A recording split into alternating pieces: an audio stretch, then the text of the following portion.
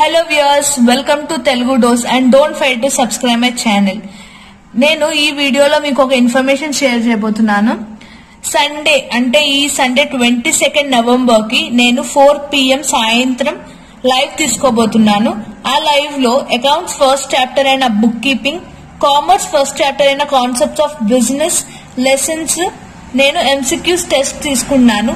మీరు ఒకవేళ ఆ వీడియో చూడకపోతే ఆ వీడియో లింక్ డిస్క్రిప్షన్లో పెడతాను. మీరు దాంట్లో ఉన్న కాన్సెప్ట్ మంచిగా చదువుకోండి. నేను ఎంసీక్యూస్ టెస్ట్ తీసుకుంటాను. నేను క్వశ్చన్ అడిగినాక ఎవరు ఫస్ట్ కమెంట్ చేస్తారో ఆన్సర్ కరెక్ట్గా నేను వాళ్ళ పేరు కానీ వాళ్ళ నేమ్ నెక్స్ట్ వీడియోలో డిస్ప్లే కానీ చెప్తాను. నెక్స్ట్ వీడియోలోనైనా లేకుంటే లైవ్లోనే వాళ్ళ పేరుని డిస్ప్లే చేస్తాను. సో స్టేట్ ట్యూన్ ఈ ఇన్ఫర్మేషన్ని మీ ఫ్రెండ్స్ని కూడా షేర్ చేసుకోండి. ఇప్పుడు ఈ వీడియోలో ఎకనామిక్స్ లాస్ట్ వీడియోలో నేను యూనిట్ వన్ కంప్లీట్ చేశాను. ఈ వీడియోలో unit two theory to consumer behaviour చెప్తాను. ఇది చాలా ఇంపార్టెంట్ చాప్టర్ అండి. దీంట్లో లాస్ ఉన్నాయి మనకి law of diminishing marginal law of equity marginal so last వరకు చూడండి అప్పుడు మీకు కాన్సెప్ట్ అనేది చాలా బాగా అర్థమవుతుంది. లెట్స్ బిగిన్ ఈ లెసన్ నేమ్ వచ్చేసి థియరీస్ ఆఫ్ కన్స్యూమర్ బిహేవియర్ దీంట్లో మనకి ఇంపార్టెంట్ థియరీస్ ఉన్నాయండి. ఎగ్జామ్లో ఈ థియరీస్లో ఒక టెన్ మార్క్స్ థియరీ అయితే పక్కా వస్తుంది. మీకు ఇవి అర్థమైతే మీరు ఓన్గా కూడా రాసుకోవచ్చు. ఫస్ట్ థియరీ వచ్చేసి law of diminishing marginal utility first మనం యూటిలిటీ అంటే ఏంటో చూద్దాం. యూటిలిటీ అంటే total satisfaction received from consuming the goods or services మనం ఒక గూడ్ అంటే ఒక పెన్ని కన్జ్యూమ్ అంటే తినడం కాదు వాడడం కూడా. ఒకవేళ ఒక పెన్ని మనం కన్జ్యూమ్ అంటే వాడినాక మనకు సాటిస్ఫాక్షన్ వస్తుంది. ఒకవేళ అది సరిగ్గా ఉంటే. ఆ సాటిస్ఫాక్షన్ని మనం ఇక్కడ మన టోటల్ సాటిస్ఫాక్షన్ని ఇక్కడ యూటిలిటీ అని అంటాం. అంతే. ఇప్పుడు important concept law of diminishing marginal utility నుంచి చెప్తాను. ఇది నేను చెప్పినట్టుగా one of the important law మనకి ఎకనామిక్స్లో మీకు ఏ స్టాండర్డ్కి వెళ్ళినా ఈ లా అయితే మీకు బేసిక్ లాగా పనిచేస్తుంది. ఫస్ట్ దీని డెఫినేషన్ ఆల్ఫ్రెడ్ మార్షనల్ ఇచ్చారు. వాళ్ళు వాళ్ళు ఏం చెప్పారో చూద్దాం. The additional benefit which a person derives from a given increase in the stock of a thing diminishes with every increase in the stock that he already has ఒకవేళ మనం ఒక ప్రోడక్ట్ కొంటే అది ఫస్ట్ యూజ్కి ఒక సాటిస్ఫాక్షన్ లెవెల్ లేకపోతే ఇంకో product కొంటే దీని సాటిస్ఫాక్షన్ లెవెల్ కూడా తగ్గొచ్చు. కానీ ఈ లా వచ్చేసి ఒక వన్ ప్రోడక్ట్ సాటిస్ఫాక్షన్ లెవెలే చెప్తుంది మనకి. అంతే. దీంట్లో ఫస్ట్ మనం స్టార్ట్ చేసే ముందు డెఫినేషన్ తర్వాత స్టేట్మెంట్తో చేయండి. అప్పుడే మీకు ఫుల్ మార్క్స్ వస్తాయి. స్టేట్మెంట్లో other things being equal as the quantity of commodity consume by the consumer increases ఒకవేళ మన కన్జప్షన్ ఇంక్రీజ్ అయిందంటే మార్జినల్ యూటిలిటీ అనేది డిగ్రీస్ అవుతుంది. ఈ స్టేట్మెంట్కి మనకు ఒక డయాగ్రామ్ గ్రాఫ్ ఉంది. అప్పుడు మీకు ఈజీగా సింపుల్గా అర్థం అవుతుంది ఈ కాన్సెప్ట్ అనేది.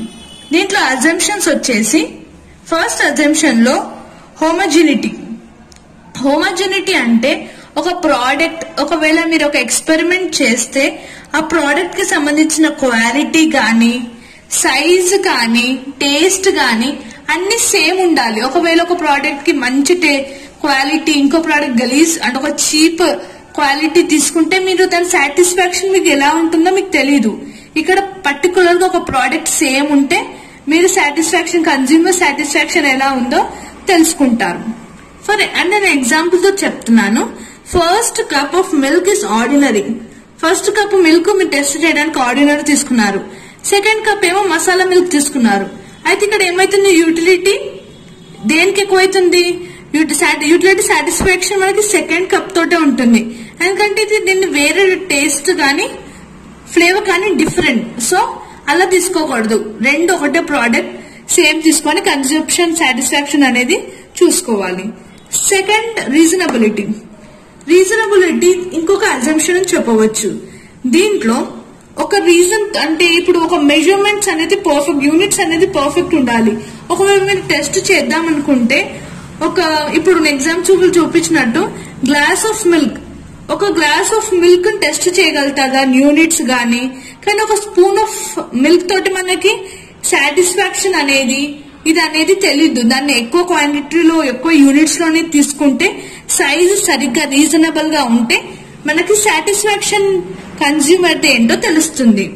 థర్డ్ వన్ వచ్చేసి కన్సిస్టెన్సీ కన్సిస్టెన్సీలో no changes consumer taste preference and income దీంట్లో కన్సిస్టెన్సీ అనేది ఫిక్స్ అంటే ఒకవేళ మనం ఎక్స్పెరిమెంట్ అంటే మన ఈ లా అయితే ఏం చెప్తుందంటే మనం సాటిస్ఫాక్షన్ లెవెల్ చూద్దామంటే ఒక చేంజెస్ అయితే ఉండకూడదు. దేంట్లో మనం తీసుకునే దాంట్లో టేస్ట్ కానీ ప్రిఫరెన్స్ కానీ దాని ఇన్కమ్ కానీ స్టేబుల్గా ఉంటే మనకి సాటిస్ఫాక్షన్ లెవెల్ అనేది పర్ఫెక్ట్గా తెలుస్తుంది. నెక్స్ట్ పాయింట్ వచ్చేసి కంటిన్యూటీ కంటిన్యూటీ అంటే ఒక గూడ్ని గాని మనం కంటిన్యూగా వాడడం వల్ల ఒకవేళ నో గ్యాప్ ఒకవేళ టూ యూనిట్స్లో పక్కన ఏ గ్యాప్ లేనప్పుడు కానీ కంటిన్యూటీ మెయింటైన్ చేస్తే ఇది ఒక అజంప్షన్ లా ఆఫ్ డిమినిషింగ్ మార్జినల్లో ఇంపార్టెంట్ అని చెప్పవచ్చు. ఫిఫ్త్ వన్ వచ్చేసి cardinal measurement of units law of diminishing marginal యూటిలిటీలో మనం ఒకవేళ అంత టెస్ట్ అంటే థియరీ అంత చెప్పినాక మనకు సాటిస్ఫాక్షన్ లెవెల్ తెలిసినాక అది న్యూమరికల్గా నంబర్గా ఎక్స్ప్రెస్ అవుతుంది. ఎట్లా? కార్డినల్ మెజర్మెంట్స్ అంటే one one two cardinal measurement ఈ విధంగా దాన్ని మన సాటిస్ఫాక్షన్ లెవెల్ అనేది మనం మెజర్ చేస్తాము. ఇప్పుడు తీసుకునే గూట్ని కానీ దేని ఒకటే ప్రోడక్ట్ తీసుకుంటాం కాబట్టి దాన్ని మనకి ఏ ర్యాంక్లో ఏ కార్డినల్లో వస్తుందో మనకు తెలుస్తుంది. Law of diminishing marginal utility table చూద్దాం. మీకు ఒకవేళ ఇది లాంగ్ ఆన్సర్లో అయితే ఇంట్రడక్షన్ అజంప్షన్స్ స్టేట్మెంట్ ఈ టేబుల్ ఇంకా గ్రాఫ్ గ్రాఫ్కి నేను ఇప్పుడు చెప్పే ఎక్స్ప్లెనేషన్ కూడా మీరు ఎగ్జామ్లో రాయాల్సి ఉంటుంది. అప్పుడే మీకు టోటల్ మార్క్స్ అనేది వస్తుంది. ఇప్పుడు దీంట్లో గ్రాఫ్లో మనకి త్రీ టేబుల్స్ ఉన్నాయి. Units of consumption of commodity total utility marginal utility ఇక్కడ నేను సెవెన్ కన్జంప్షన్స్ తీసుకున్నాను. టోటల్ యూటిలిటీ ఇంక్రీజ్ ఇప్పుడు ఫిఫ్టీన్ ట్వంటీ ఫైవ్ ఇంక్రీజ్ అవుతున్న కొద్దీ మార్జినల్ యూటిలిటీ అనేది డిక్రీజ్ అవుతుంది. ఇప్పుడు మనకు totality fifteen twenty five thirty three ఉంటే మార్జినల్ ఫస్ట్ ఫిఫ్టీన్ ఉంది తర్వాత టెన్ ఎయిట్ అంటే డిగ్రీస్ అవ్వకుండా ఉంటుంది. ఇప్పుడు ఇదే టేబుల్ని మనం గ్రాఫ్లో చూపించాలి. అంతే. సింపుల్ ఇక్కడ నేను ఎక్స్ ఇది ఇది వై ఇది ఎక్స్ దీంట్లో ఈ నంబర్స్ తీసుకున్నాను. ఫైవ్ టెన్ ఫిఫ్టీన్ ఇక్కడ వన్ టూ త్రీ మనకు సెవెన్ ఉన్నాయి కాబట్టి సెవెన్ తీసుకోవాలి. తీసుకుంటే ఫస్ట్ వన్ వచ్చేసి ఫస్ట్ టోటల్ యూటిలిటీ ఇది గ్రాఫ్ మార్జినల్ యూటిలిటీది ఈ గ్రాఫ్ టోటల్ యూనిటీ యూటిలిటీలో ఫస్ట్ ఫిఫ్టీన్ ఫస్ట్ మనకి ఫిఫ్టీన్ ఉంటే వన్ ఫిఫ్టీన్కి తీసుకోవాలి. సెకండ్ ట్వంటీ ఫైవ్ ఉంటే twenty five third thirty three ఉంటే ఇక్కడ కొంచెం త్రీ థర్టీ త్రీ దగ్గర తీసుకోవాలి. ఈ విధంగా మనకి ఏమవుతుంది? టోటల్ యూటిలిటీ అనేది ఇంక్రీజ్ అవుతుంది. కానీ మార్జినల్ యూటిలిటీ ఏమవుతుంది? డిక్రీజ్ అవుతుంది. ఎట్లా ఇప్పుడు ఫస్ట్కి ఫిఫ్టీన్ ఉంటే ఫిఫ్టీన్ తీసుకున్నాము. నెక్స్ట్ టెన్ ఉంది. టెన్ తీసుకుంటున్నాము. ఈ విధంగా లాస్ట్కి మార్జినల్ యూటిలిటీ అనేది డిక్రీజ్ అవుతుంది. ఇవి రెండు ఈ పాయింట్లో మనకి కలుస్తాయి. ఈ గ్రాఫ్ ఎక్స్ప్లెనేషన్ అనేది చాలా ఇంపార్టెంట్ మీరు ఎక్స్ప్లెనేషన్ ఆఫ్ గ్రాఫ్ పెట్టి మీకు ఈ గ్రాఫ్లో ఏ విధంగా మీరు ఇవి పాయింట్ అవుట్స్ తీసుకున్నారో అది ఎక్స్ప్లెయిన్ చేయండి. సింపుల్